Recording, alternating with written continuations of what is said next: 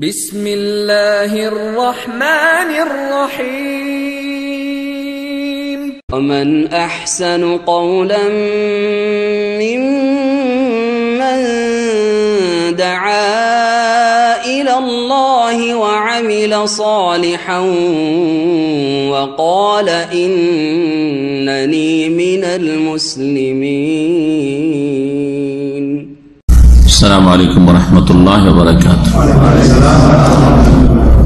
إن الحمد لله نحمده ونستعينه ونستغفره ونعوذ بالله من شرور أنفسنا ومن سيئات أعمالنا من يهده الله فلا مضل له ومن يضلل فلا هادي له وأشهد أن لا إله إلا الله وحده لا شريك له وأشهد أن محمدا عبده ورسوله صلى الله تعالى عليه وعلى آله وصحبه وسلم تسليما كثيرا أما بعد فقد قال الشيخ العلامة صالح الفوزان حفظه الله تعالى إخراج إخراج بعض بعض الأساة من النار.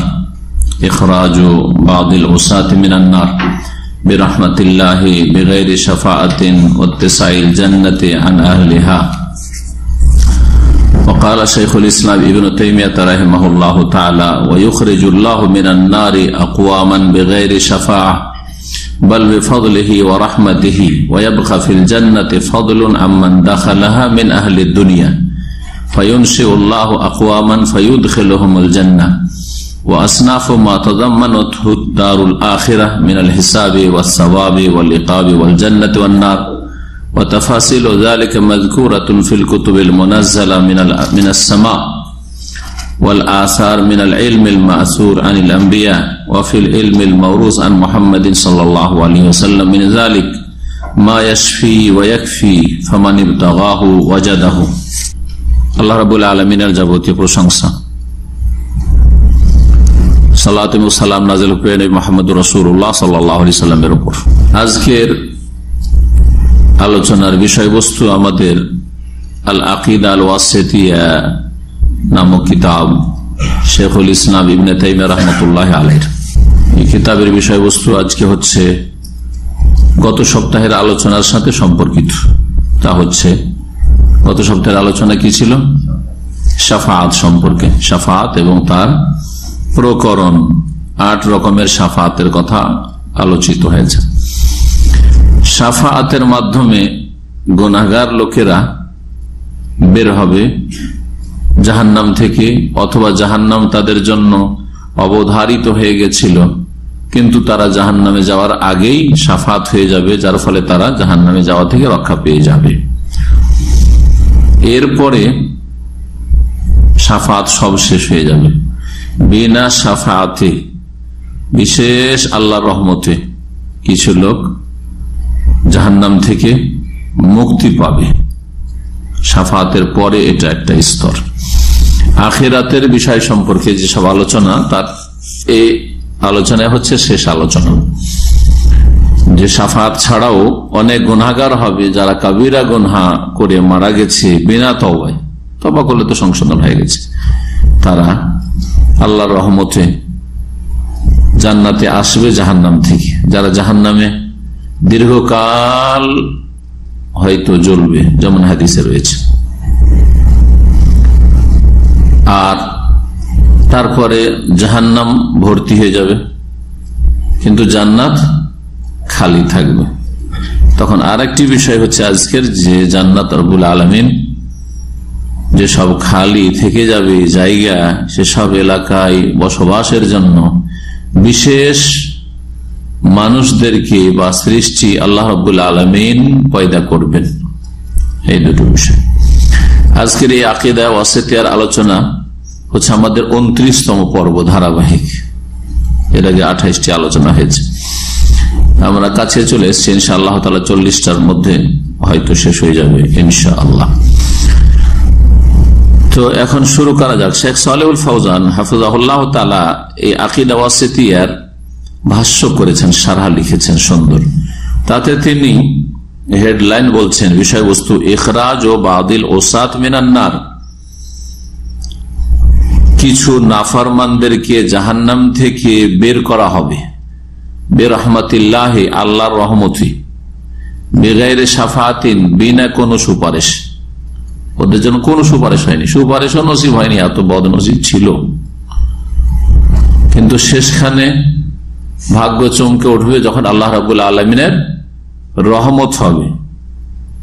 লক্ষণীয় বিষয়, বলা হয়েছে, কিছু নাফারমান সুতরাং এটা মনে করবেন না যে আমরাও নাফারমানি করে আর বড় বড় কাবিরা গোনা করে আর বড় বড় ফরজ ছেড়ে দিয়ে হয়তো এই দলে সামিল হয়ে যাবে। তাহলে সব নাফারমানের জন্য এটা নসিব হবে না। বুঝছেন না কথা? কারণ অনেক ভাবতে পারে তো সাফাতে তো মেলা লোক পার হয়ে যাবে, তাই না? আর তারপরে সাফাত ছাড়া আল্লাহর রহমতে হ্যাঁ অনেক নাফারমান কি হবে?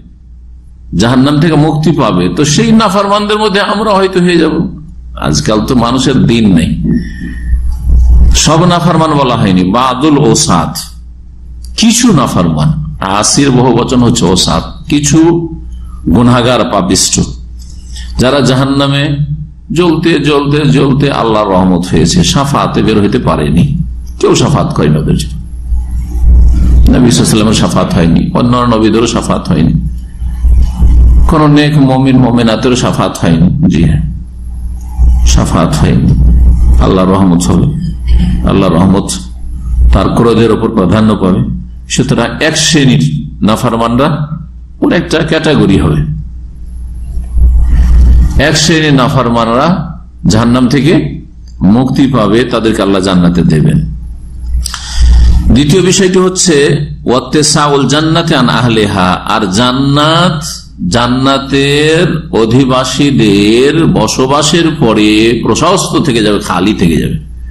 তখন আল্লাহ বলে এত প্রশস্ত জান্নাত। তো সেই জান্নাতকে আল্লাহ রব্বুল আলমিন ভর্তি করবেন বিশেষ সৃষ্টি দিয়ে, যাদেরকে আল্লাহ সৃষ্টি করবেন। জি। এই মর্মে হাদিস রয়েছে, হাদিস নকল করব ইনশাল্লাহ আজকের লম্বা কোন আলোচনা নেই। কিতাবের আলোচনা যখন শেষ হয়ে যাবে, ইবনে তাইম রাহিমাহুল্লাহ যা কিছু বলেছেন, আর তারপরে এই দুটি বিষয়ের উপরে দুটি হাদিস। তার মধ্যে একটি হাদিস সংক্ষেপে এখানেই চলে এসছে কিতাবেও। বলছেন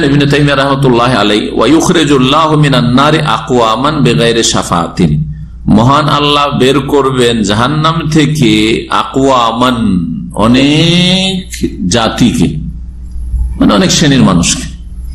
বেগাইরে সাফাতিন বিনা সুপারিশ, কেউ সুপারিশ করেন ওদের জন্য। তো কীভাবে তারা বেরোবে বলবে ফজলিহি ও রহমতিহি। বরং এরা বের হবে আল্লাহর ফজল এবং আল্লাহর দয়াই ফজল মানে অনুগ্রহ, আর রহমত মানে হ্যাঁ দয়া, করুণা, কাছাকাছি শব্দগুলি অর্থের দিক থেকে। ওয়াবকাফিল জান্নাতে ফজলুন আম্মান দাখালাহা মিন আহলি দুনিয়া। দুনিয়ার যারা বসবাসকারী মানুষ ছিল, জিন ছিল যাদেরকে শরীয়তের মুকাল্লাফ দায়িত্বশীল বানানো হয়েছিল যে শরীয়তের বিধিবিধান তোমাদেরকে মেনে চলতে হবে। এবাদতবন্দীর জন্য মহান আল্লাহ কাকে পয়দা করেছেন? মানুষ এবং বাস দুটো সৃষ্টি, অসংখ্য সৃষ্টির মধ্যে, হাজার হাজার সৃষ্টির মধ্যে আল্লাহ রবাহ আলমিন শুধুমাত্র মানুষ এবং জিনকে তার আদেশ নিষেধ পালন করে জীবনযাপন করতে হয়ে যেন পয়দা করেছেন। আমা খালাকুল জিন্না আল ইনসা ইবুন সুরাজ আরিয়াত আল্লাহ বলছেন যে আমি জিন এবং মানুষকে সৃষ্টি করেছি একমাত্র আমার এবাদতের জন্য। আমার এবাদত মানে আমার একত্বের সাথে এবাদতের জন্য। এখানে লিয়াবধু নি ছিল আসলে। আমার এবাদতের জন্য, আর কারও যেন এবাদত না হয়।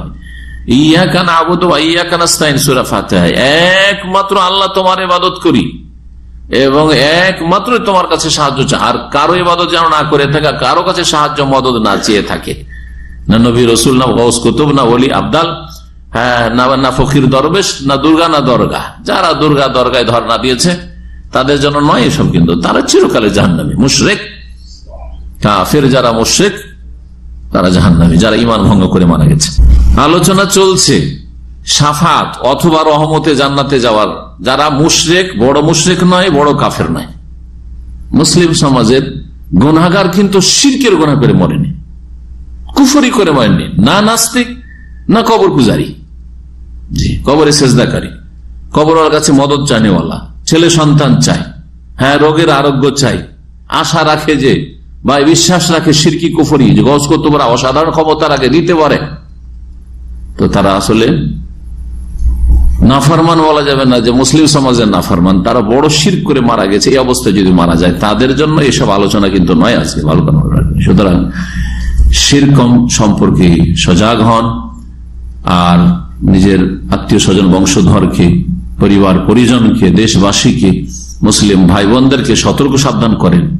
যে শির্ক না করে যদি অন্য কোনো বড় অপরাধ করেও মারা যায়, তো জাহান্নামে জ্বলেও একদিন আসবে। কিন্তু মুশরিক কাফের জন্য আল্লাহ জান্নাতকে হারাম করেছেন। আর জাহান্নামকে চিরকালের জন্য ফরজ করেছেন। অমাহম বেখারে জিন তাদের সম্পর্কে আল্লাহ বলছেন, তারা কখনো জাহান্নাম থেকে বেরোবে না।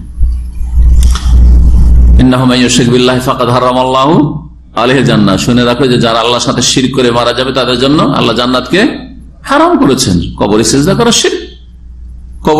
চাওয়া, আর কিছু পাবো, দিতে পারে রাখা, অথবা সেখানে যাওয়া, চাদর চড়ানো, এই চাদর চড়ার মাধ্যমে রুজিতে বরকত হবে। এখানে খাসি মরক জবাই করলে বাবা খুশি হবে, তখন আমার দিকে সুদৃষ্টি দেবে।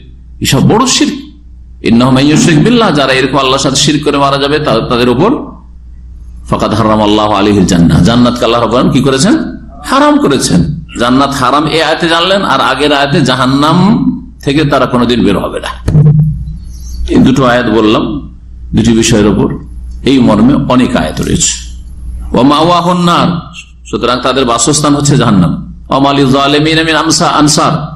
আর এরা এত বড় জালেম যে এই জালেমদের জন্য কোনো সাহায্যকারী সুপারিশকারী থাকবে না। সুপারিশ হবে না এমনকি আল্লাহ রহমত হবে না। আল্লাহ রহমত খাস কার জন্য? পারলৌকিক রহমত। আল্লাহ রহমত হচ্ছে দুই রকম। দুনিয়াবি রহমত পার্থিব দয়া আর পারলৌকিক দয়া আখেরাতের রহমত। দুনিয়ার রহমত মুসলিম কাফের হ্যাঁ, সবাইকে সামিল। সবাইকে আল্লাহ খেতে দিচ্ছেন, সবাইকে আল্লাহ হাওয়া বাতাস দিচ্ছেন, সবাইকে আল্লাহ প্রাণ দিয়েছেন, সবাইকে সুস্থতা দিয়েছেন। মুসলিম চাইতে অনেক কাফের বেশি সুস্থ, কাফের বেশি ভোগ বিলাস করছে, সুখ করছে দুনিয়া তো আল্লাহর দুনিয়ার রহমত, সৎ অসৎ সকলকে সামিল। কিন্তু আখেরাতের রহমত একমাত্র মমিন বিশ্বাসী যারা ইমানের সাথে শিরকে মিলায়নি, কুফরিকে মিলায়নি, কুফরি শির্ক মুক্ত যারা ইমানদার মুসলিম আমলে ত্রুটি থাকলেও কখনো না কখনো জাহান্নাম থেকে বাঁচবে বা রক্ষা পাবে। আসুন এখন আর একটি বিষয় যেটা বলছিলাম যে ওয়াব কাফিল জান্নাতে ফাদলুন, জান্নাতে অতিরিক্ত খালি জায়গা থেকে যাবে আম্মান দাখালা যারা প্রবেশ করল তাদের বসবাস আর তাদেরকে যা আল্লাহ দিলেন। হ্যাঁ শুধু বাড়ি ঘর নয় নিম্ন শ্রেণির জান্নাতি সম্পর্কে হ্যাঁ আমার একটা আলোচনা আছে। নিম্ন শ্রেণির একেবারে একেবারে নিম্ন শ্রেণির যে সব শেষে জান্নাতে যাবে। তাকে আল্লাহ কত দিবেন? পৃথিবীর দশ গুণ। লাকা হ্যাঁ আশার তামসালি দুনিয়া, দুনিয়ার দশ গুণ। সময় হইল হাদিস হয়তো কোনদিন শোনাবো ইনশাল্লাহ আবার। তারপরেও জান্নাতে খালি জায়গা কি হবে? থেকে যাবে। বলছে, জান্নাতে, জান্নাতিরা প্রবেশ করার পরে অতিরিক্ত জায়গা থেকে যাবে। উল্লাহ আকোয়ামান সুতরাং আল্লাহ বেশ কিছু জাতিকে মানে বেশ কিছু মানুষকে পয়দা করবেন। মানব জাতিকে আল্লাহ সৃষ্টি করবেন। ফাইদ খেলহমল জান্না, অথবা আল্লাহ তাদেরকে জান্নাতে আবাদ করবেন। যাও তোমরা জান্নাতে বসবাস করো। এমনি আল্লাহ রাবুল আলমিন দেবেন হ্যাঁ? কোন মুশকিল আছে? মানুষ যদি অধিকার রাখে যে আমরা যাকে ইচ্ছে নাগরিক করতে দেব। সরকার, যে কোনো সরকার আজকাল নিজের এই হ্যাঁ অথচ জমিন আল্লাহর। জমিন যখন আল্লাহর হ্যাঁ তো সকল আল্লাহর বান্দার। দেখ না? এই যুক্তি তো কেউ পেশ করতে পারে। তারপরে যে কোনো সরকার, যে কোনো শাসকের হ্যাঁ এই অধিকার আছে, যাকে ইচ্ছা নাগরিকত্ব দিল, আর যাকে ইচ্ছে দিল না। যে চাইবে তাকেই দিবে, জরুরি নাই হ্যাঁ। আর যাকে দিল না, তার সাথে কোনো অবিচারও করল না, ভাই, তোমার কোনো হক নষ্ট করেছি। ঠিক না? জি হ্যাঁ। মানুষের বলার অধীর থাকে। আল্লাহ জান্নাত আল্লাহ সৃষ্টি করেছেন। আল্লাহ যাকে ইচ্ছা তাকে আল্লাহ বিনা আমলে আর খালি জায়গা আছে আবাদ করবেন। ওদেরকে ফাইদ খেলহমল জান্নাহ। ওদেরকে আল্লাহ জান্নাতে হ্যাঁ বসবাসের সুযোগ দেবেন বা জান্নাতের প্রবেশ করাবেন। ওয়াসনাফ ও মাতাদাম্মানা থুদ্দারুল আখিরা মিনাল হিসাবি ওয়াস সাওয়াবি ওয়াল ইকাবি ওয়াল জান্নাতি ওয়ান নারি। وتفاصيل ذلك مذكورة في الكتب المنزلة من السماء والآثار من العلم المعصور عن الأنبياء এখন আর লম্বা আলোচনা আখেরাত সম্পর্কে না করি কারণ আখেরাত সম্পর্কে পরকাল সম্পর্কে অনেক আলোচনায় আছে আর অনেক কথা কোরআন হাদিসে আছে আর অনেক বিষয় হ্যাঁ যেগুলি হয়তো বিস্তারিত আমাদের কাছে জ্ঞান পৌঁছেনি সে যেসব বিস্তারিত জ্ঞান আমাদের কাছে হয়তো পৌঁছেনি আমরা সেগুলো আয়ত্ত করতে পারিনি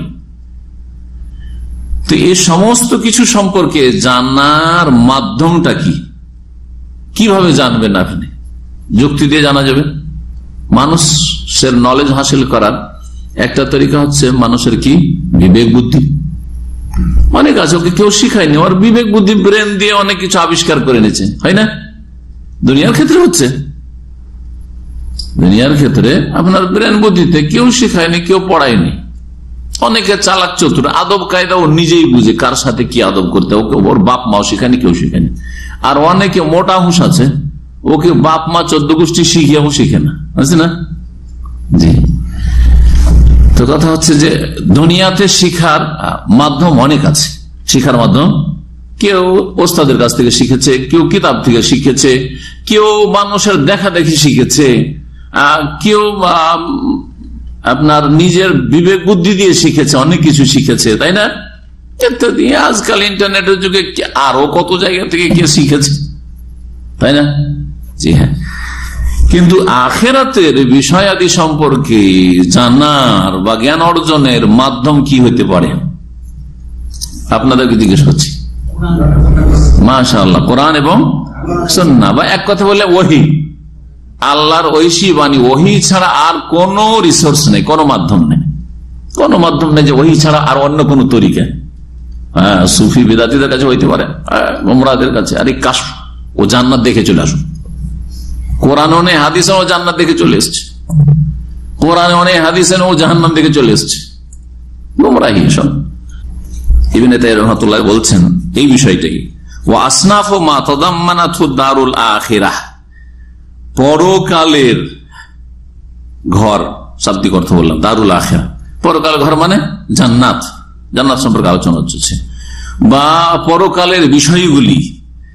এই পরকালের প্রতি যে ইমান পঞ্চম ইমানের স্তম্ভ, এই বিষয়টি, যেই বিষয়গুলিকে সামিল, অনেক বিষয়কে সামিল। শুরুতে বলেছি, মানুষের মৃত্যু থেকে শুরু করে, বা মৃত্যুর পূর্ব মুহূর্ত যে মুমূর্ষ অবস্থা অবস্থা থেকে শুরু করে, একেবারে জান্নাত জাহান্নামের শেষ পর্যন্ত, তাই না? তো এই যে সমস্ত বিষয়গুলি রয়েছে, যেগুলিকে আখের পরকালের প্রতি ইমান বা পরকাল এই কথাটি সামিল, এর মধ্যে যত কিছু রয়েছে, যত প্রকারের বিষয়গুলি হইতে পারে, যত প্রকারের জিনিস হইতে পারে, যেমন কি হইতে পারে মেনাল হিসাব, জান্নাতে যাওয়ার আগে হিসাব ওয়াসওয়াব এবং নেকি প্রতিদান, বদলা, ওয়াল একাব মানে শাস্তি পানিশমেন্ট ওয়াল জান্না, জান্নাত ওয়ান্নার জাহান্নাম ও তাফাসিল জালিকা এবং এর বিস্তারিত বিশদ আলোচনা, জান্নাতের বিশদ আলোচনা, বিবরণ, জাহান্নামের বিস্তারিত বিবরণ, জি, হিসাব নিকাশ ইত্যাদি, কার কি অবস্থা হবে, ইত্যাদি, এই সমস্ত কিছু কোথায় পাবো? বলছে মাজকুর ফিল কুতুবেল মোনাজামা উল্লিখিত হয়েছে, আকাশ থেকে নাজেলকৃত কিতাব সমূহে মানে আসমানি গ্রন্থে। আসমানি গ্রন্থ কোনগুলি? যেগুলি আল্লাহ প্রদত্ত কিতাব। আল্লাহ প্রদত্ত কিতাব, ওহি। এতে আচ্ছা আসমানি কিতাব যেমন কোরআন করিম, তওরাত অবিকৃত কিন্তু বিকৃত যেগুলো হয়তো হ্যাঁ কাটছাট করেছে, ওগুলো অচল, মানুষের কথা। কারণ ওইসব কিতাব নষ্ট করে দিয়েছে তারা, জাতিরা, সংরক্ষণ করতে পারেনি তারা। কিন্তু আসল যেইভাবে আল্লাহ নাজল করেছে, তওরাতকে ইঞ্জিলকে জবুরকে, ওতে আখেরাতের কথা রয়েছে বিস্তারিত। অনেক কথা রয়েছে। এছাড়া আর জানার মাধ্যম আসমানি কিতাব ছাড়া আম্বিয়া রসুলগণ যেই এলম ছেড়ে গেছেন, আম্বিয়া রসুলদের পরিত্যক্ত জ্ঞান। তাই বলছেন, ওয়াল আসার মিনাল ইলমিল মাসুর আনিল আম্বিয়া। আর যেসব হাদিস বা বর্ণনা, আসার মানে বর্ণনা যেসব বর্ণনা যেই বর্ণনাগুলি বর্ণিত হয়েছে আম্বিয়া রসুলগঞ্জ থেকে, অফিল ইলমিল মৌরুস আর মোহাম্মদ, সে অন্য নবী নু আলি থেকে হইতে পারে, ইব্রাহিম আলী সাল্লাম থেকে বর্ণনা হইতে পারে, মোসা ইসা আলী সাল্লাম থেকে হইতে পারে, দাউদ আলী সাল্লাম থেকে হইতে পারে আলিমসাল্লাম জমিয়ান। এমনকি শেষ নবী, সর্বশেষ নবী মোহাম্মদ রসুল্লাহ সাল্লাম যে জ্ঞান ছেড়ে গেছেন, ওই জ্ঞান, হাদিস, নবী সাল্লামের হাদিস। বা সিরাতের কিতাবাতে নবী সাল্লামের জীবনের কিতাবাদিতে আছে। সেগুলিও হাদিসের একটা অংশ। যা কিছু এতে রয়েছে। মিনজালিকে সম্পর্কে মা ইয়াসফি ওয়াকফি যা মানুষের জন্য যথেষ্ট। যাতে রয়েছে মানুষের জন্য কি? যেটাকে বলা ইয়াসফি মানে যাতে মানুষের সংশয় নিরসন রয়েছে, সংশয়ের রোগের আরোগ্য রয়েছে শেফা থেকে। শেফা মানে আরোগ্য, চিকিৎসা। যাতে মানুষের সংশয়ের আরোগ্য রয়েছে, কোন সংশয় সন্দেহ থাকবে না, যখন কোরআন সন্না বা ওই জ্ঞান অর্জন করবে। ওয়াকফি আর যা যথেষ্ট। সুতরাং আর বেশি বলছেন যে, আর বেশি আমি আলোচনা করব না। কেউ যদি সেগুলি সন্ধান করতে চায় যে আমি জান্নাত সম্পর্কে জানব, আখেরাত সম্পর্কে জানব, আর পরকালের যে সব বিভিন্ন স্তরগুলি রয়েছে আরও অতিরিক্ত জানব কেউ যদি তা সন্ধান করতে চায়, তলাশ করতে চায়, তো ওয়াজাদাহ অবশ্যই পাবে। পাবে। জি, তলাশ করতে হবে। যে যতটা এলম হাসিল করতে পারে। শেষ সম্পর্কে বিভিন্ন দিকের কথা রয়েছে। যদি পড়ে দেখেন, তো ওতেই অনেক কিছু জানতে পারবেন। তারপরে কয়টা চর্চা করেছেন এই সম্পর্কে? শেখ বলছেন ইবনে তেম রাহমহল্লার এই কথাগুলির সারা বা ভাষ্যে যে যখন ইবনে তেম রহমতুল্লাহ আলী সাফাতের প্রকরণগুলি বর্ণনা করলেন এবং সেখানে এটাও বর্ণনা করেছেন যে সাফাতের মাধ্যমে অনেক নাফার মান গুনাগাররা কোথায় চলে যাবে? জাহান্নাম থেকে?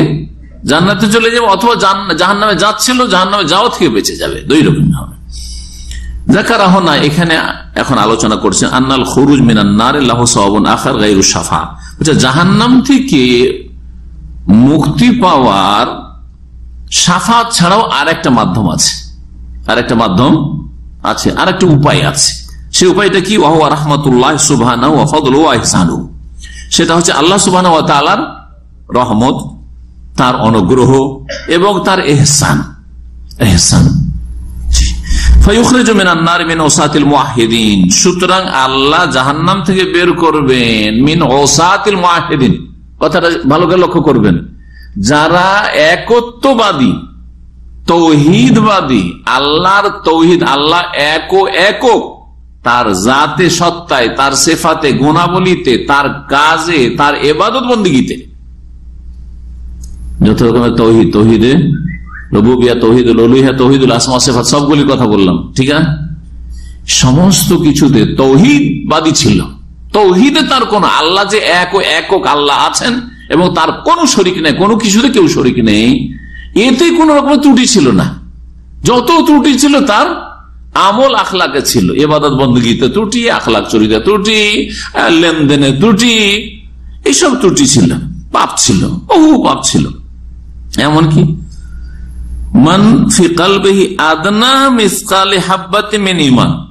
সাফাতের মাধ্যমে তো যাদের অন্তরে হ্যাঁ সরিষা পরিমাণ ইমান ছিল, তারা বেরিয়েছে। এই লোকগুলো যারা হবে, যারা আল্লাহর রহমতে সাফাত দিয়ে বেরোতে পারে, কেউ সুপারিশই করেনি সব লোকের জন্য। সুপারিশই করবেন না। আল্লাহ তার রহমতে বের করবেন যাদের অন্তরে সরিষার দানার চাইতো ক্ষুদ্র পরিমাণ ইমান ছিল। ছিল। হাদিস আসবে তখন দেখবেন যে জীবনে কোনো ভালো আমল করেন। জীবনে কোনো ভালো আমল করে এইরকম শব্দ ব্যবহার হয়েছে। এর দলিল হিসাবে সুরা নেসার আয়াত নম্বর আটচল্লিশ উল্লেখ করেছেন শেখ সোহেল ফৌজান তাআলা। বলছেন ইউশরাকা বিহি। আল্লাহ শিরকের গুনাহ মাফ করবেন না। আল্লাহর সাথে যদি শির করা হয় আর শিরকের অবস্থায় কেউ মারা যায়, তো আল্লাহ কি করবেন না? লায়াক ফেরো ক্ষমা করবেন না। তাহলে তার কিন্তু শিরকের নিচের কোন গোনা যদি হয় মানে মা শিরকের নিম্নের কোন যদি অপরাধ হয়, শির সমতুল্য কোন অপরাধ আল্লাহ মাফ করবেন না। শির করেনি, জাদু করেছে। শির করেনি।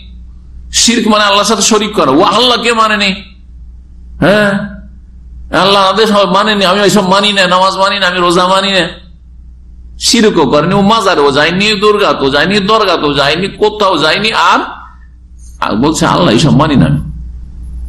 অথবা একটা কিছু মানি না, আমি জেনা হারাম মানি না হ্যাঁ? জুয়া হারাম মানি না, আমি সুদ হারাম মানি না, ও কাফের হয়ে গেছে। তার সিরকে সমানই গোনা করেছে। শুধু এই কথা ভাববেন না যদি শুধু শির কার নাস্তিকতা, ব্যাস। ইমান ভঙ্গকারী যতগুলি বিষয় হতে পারে, হাজার হাজার বিষয় হবে। হাজার হাজার কারণে মানুষ ইমান ভঙ্গ করে একটা দুটো নাই।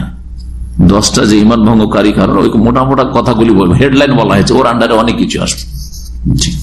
ইসলামের স্পষ্ট একটা বিধানকে কেউ যদি অস্বীকার করে, ফরজকে।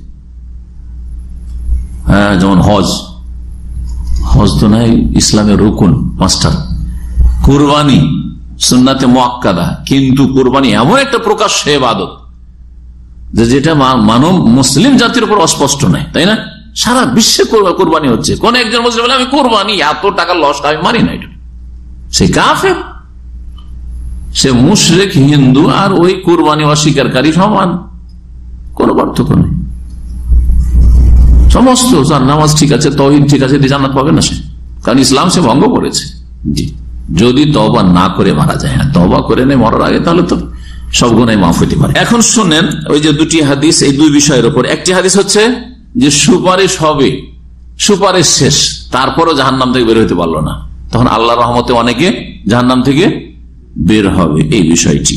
অফিল হাদিস মোত্তাফাক আলাই বোখারি, মুসলিমের হাদিসে রয়েছে, ইয়াকুরুল্লাহ, আল্লাহ বলবেন, হাদিস অনেক লম্বা, এক পৃষ্ঠার হাদিস আছে। সুতরাং গোটা হাদিস শোনানো যাবে না। ওই ওই অংশটুকু শোনাচ্ছি। এখানে আছে, আর এখানে আমি হাদিসের নাম্বার সহ আপনাদেরকে শোনাই। সহি বুখারিতে ছয় হাজার আটশো ছিয়াশি নম্বর হাদিস, সহি মুসলিমে দুইশো উনসত্তর নম্বর হাদিস।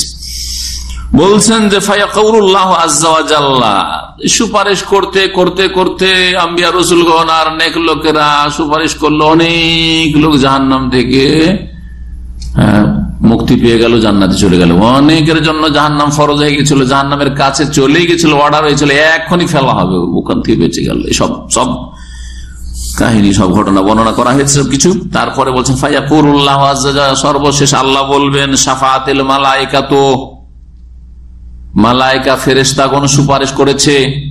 ওয়াসাফান নবীনা নবীগণ সুপারিশ করেছে। ওয়াসাফাল মোমেনুনা, মোমিনরাও সুপারিশ করেছে। যারা জান্নাতি, তারাও সুপারিশ করেছে। আল্লাহ, আমি একা যাব না, আমার বাপকে নিয়ে যাব, আমার মাকে ছাড়া যাব না, আমার এই ছেলেকে ছাড়া যাব না। যদি আল্লাহ শুনে হইতে পারে দুটো শর্তের সাথে সপ্তাহে বলেছি, দুটো শর্তের সাথে সুপারিশ হবে, কিন্তু দুটো শর্ত সবসময় মনে রাখবেন। আল্লাহ বলবেন যে সবার সুপারিশ শেষ ফেরেস্তার শেষ, নবীদের শেষ, মমিন মুসলিমদের সুপারিশ করা শেষ, জান্নাতিদের সুপারিশ করা শেষ। এখন শুধু বাকি আছে কে? সবচেয়ে বড় দয়ালু যিনি। সমস্ত দয়ালুর বড় দয়ালু যিনি আরহামুর রাহিমিন, আল্লাহ রবুল আলমিন। শুধু সেই বাকি আছে, আল্লাহ ঘোষণা করবেন। আমি শুধু বাকি আছি, এখন আমি যা ইচ্ছা তাই করব। যাকে চাইব, আমি এখন কি করব? জাহান্নাম থেকে উঠিয়ে নেব, জান্নাতে দেব। আল্লাহ রব্বুল আলমিন তার এক মুষ্টি দিয়ে জাহান্নাম থেকে বহু লোককে উঠাবে এক মুষ্টিতে। কবজা মানে একটা মুষ্টি। কবজা মানে? কবজা এক মানে হাতে ধরা। আর কবজাতন মানে একবার ধরা। জি। এক মসজিদে আল্লাহ রবুল আলমেন উঠাবেন জাহান্নাম থেকে মিনান্নার। মিনহা একটি জাতিকে উঠাবেন। তাদের কত সংখ্যা হবে আল্লাহ ভালো জানেন।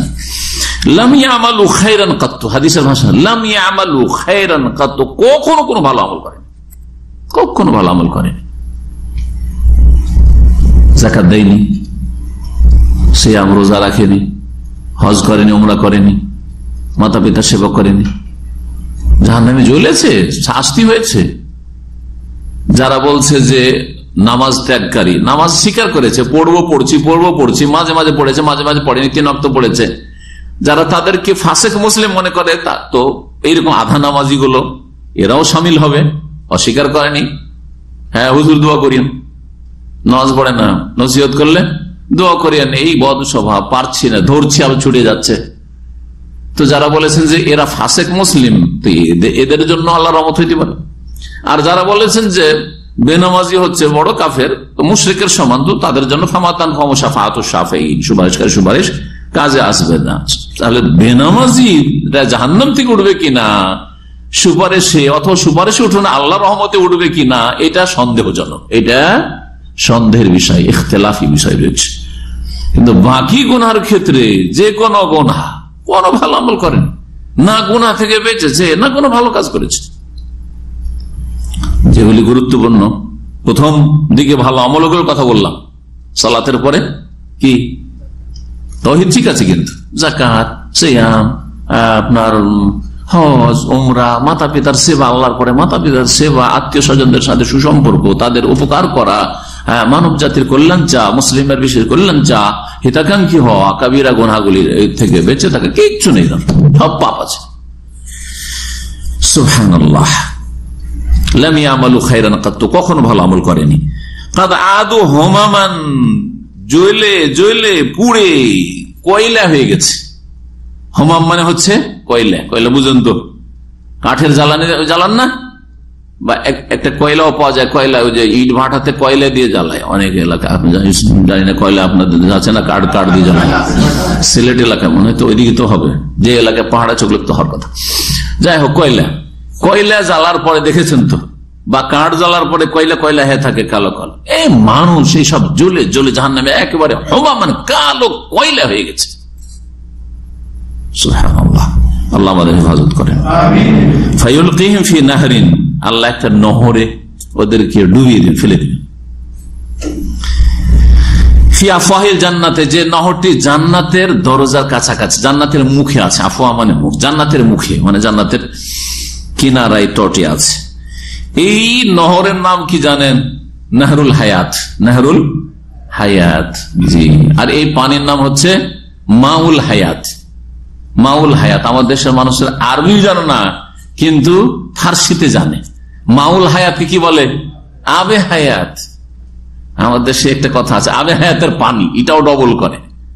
আবমানি তো পানি, আবার আবে হায়াতের পানি। ওই যে লাইলাতুল কাদারের রাতের মতো, বা পুলসের রাতের মতো, ঠিক এইটা ওই রকম আবে হায়াতের পানি, আবে হায়াত মানে হায়াতের পানি আব মানে পানি। ফার্সি শব্দ আব মানে মাউন, মাউল হায়াতে হায়াতের জীবনের পানি মানে এমন পানির পানি, যেই পানিতে ডুবিয়ে দিলে জীবন ফিরিয়ে পাবে, কয়লাগুলো একেবারে জেগে উঠবে একবারে।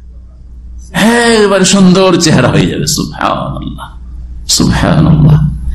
এখন ওই নামটা নিয়েছে এক রকমের পানি, কবিরাজরা বিক্রি করে, ওর নাম হচ্ছে আবে হায়াত।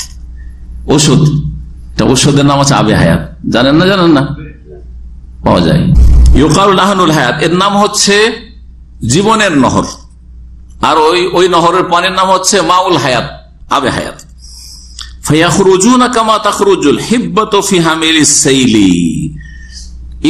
পানিতে ডুবাতেই তারা উদ্গত হবে। বেরিয়ে মাটির তলা থেকে যখন বৃষ্টি ওপরে বর্ষণ হয় বৃষ্টির পরে দেখেন, এই সময়টাই দেখবেন, এত সৌদি আরবে ঘাস চারিদিকে গজাইতে শুরু হয়েছে। সারা বছরে যত বীজ টিজ পড়েছিল, এই কয়েকদিনে গত সপ্তাহের বৃষ্টিতে এখন কি হচ্ছে? গজাচ্ছে একবার সবুজ। হয়ে দেখছেন না? ঠিক এইটা এইরকম হয়ে ওরা জেগে উঠবে, সতেজ হয়ে উঠবে। জি। তো বলছেন বলছেন? ওরা উদ্গত হবে যেন ই হচ্ছে হ্যাঁ? মাটির তলা থেকে যেমন কিছু উদ্গত হয় এরকম। বেরিয়ে আসবে বা উদ্গত হবে। কামা তাখরুজুল হিব্বাত যেমন দানা বীজ ছিটাইনি এমনি পড়ে আছে, ওকে হিব্বা বলে। হাব্বাতন মানে হচ্ছে, হাব্বাতন মানে দানা। হাব্বাতন দানা, কোন দানাকে বলা হয়? যেটা ছিটাচ্ছে, বীজ বপন যদি করে, ওইটা হাব্বা। আর এমনিতে, ওলামারা বলেছেন, এমনিতে পড়ে আছে, পাখিতে খেয়েছে, ও দানাটা পড়ে থেকে গেছে, হয়তো। পায়খানার সাথে। অথবা এমনিতে কোথাও ঝরে পড়ে থেকে গেছে, কেউ ওখানে বীজ ছিটায়নি, আর কিছু জন্মে গেছে। হয় না হয় না? আরে এখানে এই গাছটা করতে হইলে আমার বলি? এখানে এখানে করতে গাছ হলো? এখানে তো কেউ মাঠের মধ্যে কেউ তো এটা ছিঁড়ে তো আসেনি। অথচ দেখেন যে ওখানে কোন একটা সবজির গাছ অথবা লাউ গাছ দেখছেন অথবা শিম গাছ দেখছেন। দেখছেন না দেখছেন? অথবা ধানের গাছ দেখছেন গমের গাছ দেখছেন। এগুলোকে হিব্বাতন বলে। তো যেমন একটা দানা পড়ে আছে আছে আছে বছরকে বছর পড়ে আছে যখন বৃষ্টি হয় বা নহরের পানিগুলো যখন ওখান দিয়ে যায় আর একটু পানির ছোঁচা পায় পানি পেয়েছে রস পেয়েছে তখন গজিয়ে উঠে। তখন বোঝা যায় যে এখানে কোন একটা দানা পড়েছিল, গাছ এখন গজিয়ে উঠেছে। এইভাবে এই জাহান্নামী গুলো গজিয়ে উঠবে। সুহান যেমন দানা গজিয়ে ওঠে, ফি বন্যার পানি যখন প্রবাহিত হয়, তখন আশেপাশে দানাগুলি থাকে, আর একটু পানি পায়, তখন বন্যা চলে গেলে বন্যা শুকাইলে? বন্যা শুকার পরে দেশে দেখবেন কত রকমের গাছ। কোথা কোথা থেকে বন্যাতে বইয়ে নিয়ে এসছে। আপনার বাড়ির কাছে এমন গাছ জন্মাচ্ছে এলাকাতে এই রকমের বীজই পাওয়া যায় না। অন্য কোন এলাকা থেকে এসছে। বন্যাতে বইয়ে। হাদিস লম্বা আছে, ওটা আর শোনাচ্ছি না। দ্বিতীয় কি বিষয় ছিল? হ্যাঁ? খালি জায়গা থাকবে। খালি জায়গা সম্পর্কে হাদিস। ওইটা শুনিয়ে দিই। এই হাদিস ও সহি বখারিতে রয়েছে সহি মুসলিমে রয়েছে। সহি বখারিতে হাদিস নম্বর ছয় হাজার আটশো ছত্রিশ সহি মুসলিমে পাঁচ হাজার পঁচাশি। হাদিস এটা ছোট্ট। আনাস রাজি আল্লাহ তালানো থেকে বর্ণিত। নবী করিম সাল্লাম বলেন, আন্নাহ কাল্লা তাজালো জাহান্নাম ইউলকা ফিহা। জাহান্নামে ফেলা হবে জাহান্নামীদেরকে ফেলতেই থাকবে ফেরেস তারা নিয়ে এসে, ফেলতেই থাকবে ধাক্কা দিয়ে। আর জাহান্নামকে জিজ্ঞাসা করবেন, আল্লাহ রবুল্লা আলমিন যে পেট ভরেছে, হালিম তালাতি, কোথায় আছে এটা? সুরায় কাফ। ইয়মা নাকুল জাহান্নাম হালিম তালাতি ওয়া তাকুলু স্মরণ করো সেই কিয়ামতের বিচার দিবসকে। নাকুল জাহান্নাম, আল্লাহ বলছে, আমি জাহান্নামকে বলব বারবার করি। হালিম তালাতি, তোমার পেট ভরেছে? ইমতালা মানে ভরে যাওয়া। এই মাতৃভাষাতে এখানে মালিয়ান বলছেন বলছে না? মাল আন আসলে শুদ্ধ হচ্ছে শুদ্ধ যদি আরবি শীত যান মাল আন বালতিতে পানি ভর্তি আছে। বা এটা বোতল ভর্তি, তারপরে মাল আন কি? মাল আন আর মাতৃভাষা এরা বলছে, বিকৃত করে, মালিয়ান। যেমন মাউনকে মুইয়া, বিকৃত করে। ঠিক ওই রকমই মাল আনকে মালিয়ান। হালিম তালাতে তোমার পেট ভরেছে। আল্লাহ জিজ্ঞেস করবেন ওতাকুলো জাহান্নাম বলতে থাকবে হালমিম মাজিদ? আর কি বেশি কিছু আছে, আল্লাহ? হালমিম মাজিদ, আর অতিরিক্ত আছে, আরও লাগবে। ভরিনি, ভর্তি হয়নি। জি, আল্লাহ। জাহান্নাম কথা বলবে রব্বুল আলমীর সাথে। লাতাজালো জাহান্নাম ইউল কাফিহা জাহান্নামে ফেলতে থাকবেন আল্লাহ রব্বুল আলমিন। ও তাকুলো আর তাকুলো, জাহান্নাম বলবে জবে হালমিম মজিদ আর কি আছে, আর কি আছে?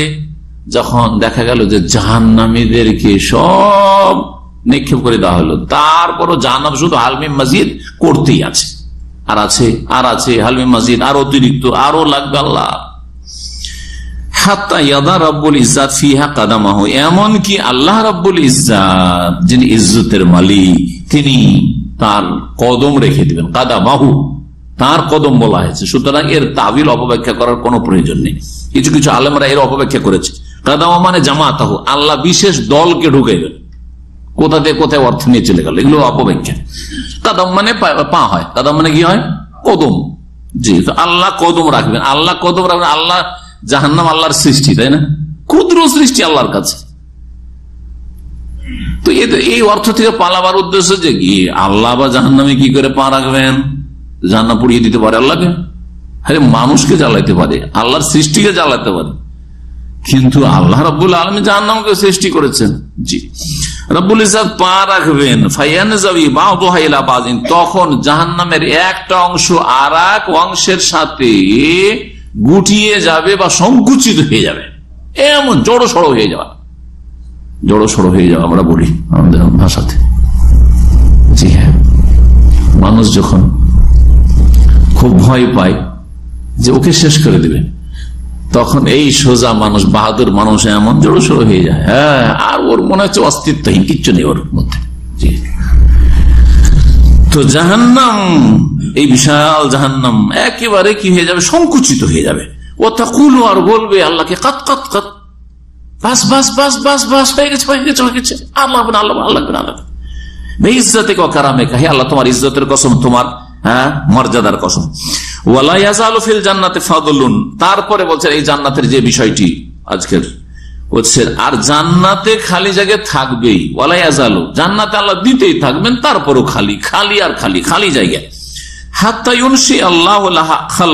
এমনকি আল্লাহ বিশেষ মখলুক মানে আল্লাহ এই মানব জাতিকে এক দলকে আল্লাহ সৃষ্টি করবেন। খালখান মানে কৌমান বিশেষ মানুষদেরকে আল্লাহ রবুল্লাহ আলমিন সৃষ্টি করবেন ফায়ুস কেনহম ফাদলাল জান্নাতে অতবার তাদেরকে জান্নাতের খালি জায়গাগুলিতে হ্যাঁ কি করবেন? বসবাস করাবেন বা আবাদ করবেন। এই হচ্ছে সেই বখারির হাদিস, আর এই দিয়ে আজকের আলোচনা শেষ হল। জি। আলোচনায় শেষ দিকে কি ছিল?